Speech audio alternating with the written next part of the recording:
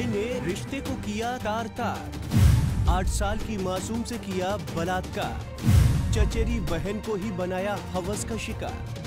चचेरा भाई बना हैवान। झारखंड के धनबाद में एक बार फिर मानवता को शर्मसार कर देने वाली घटना सामने आई है। मामला कालू थान ओपी के पिंडरा हाट का है, जहाँ एक 22 साल के कलयुगी चचेरे भाई ने रिश्ते का कत्ल कर दिया है। जी हाँ आप सही सुन रहे हैं। जंजीर में जकड़ा गया ये दरिंदा अपनी आठ साल की चचेरी बहन को ही हवस का शिकार बनाया है। दरअसल सरस्वती पूजा के लिए मासूम अपनी चाची को फूल देने गई थी, लेकिन चाची घर पर नहीं थी। घर पर अकेले दरिंदे किशन ने बच्ची को छत पर ले गया। और फिर उसके साथ दुष्कर्म जैसी घिनौनी वारदात को अंजाम दिया। इतना ही नहीं दुष्कर्म के बाद किशन ने बच्ची को किसी से नहीं बोलने की धमकी भी दी। लेकिन जैसे ही बच्ची घर पहुँची जार जार होकर रोने लगी और किशन की पूरी कहानी अपनी माँ को बताई। ताई जी के घर हाँ। गई। उसका ताई जी नहाने जा रही थी तो बोले कि वर्षा जाओ फूल घर में रख। हाँ।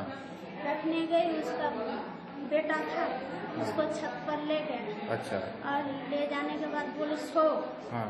तो उसको तो रेप कर दी उसके बाद बोली कि बोलना नहीं। हम्म। उसका स्कर्ट है ना स्कर्ट आज नया कुर्ता पहनाए हाँ। स्कर्ट पूरा मतलब खून से लटपटाया गया था तो उसका भाई मेरा फंसे का लड़का रेप किया धो दिया। तो बोल रहा कि झूठे उंगली काट लिया हमको बोल रहा उंगली कट गया उंगली कट गया खून कैसे लगा था उंगली कट गया उसके बाद घर में आके देख रहे हैं कि पूरा खून जा रहा है।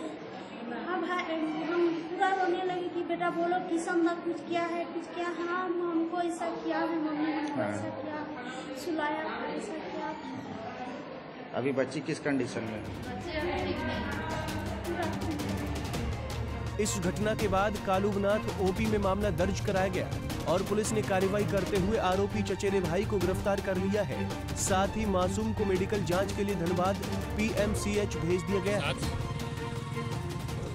यौन उत्पीड़न की घटना की सूचना मिली है, जिसे निरसा प्राथमिक स्वास्थ्य केंद्र से पीएमसीएच इलाज के लिए भेजा गया है, एवं जिसका नाम आया है उसे पूछताछ के लिए लाया गया है।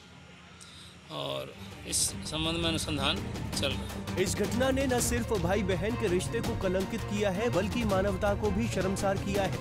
ऐसी घटनाओं पर लगाम लगाने के लिए आरोपी को कठोर से कठोर सजा देने की ज़रूरत है, जिससे कि आगे कोई भी इस तरह की घटना न घटे। पंजाब केसरी टीवी के लिए धनबाद से नीरज कुमार की रिपोर्ट।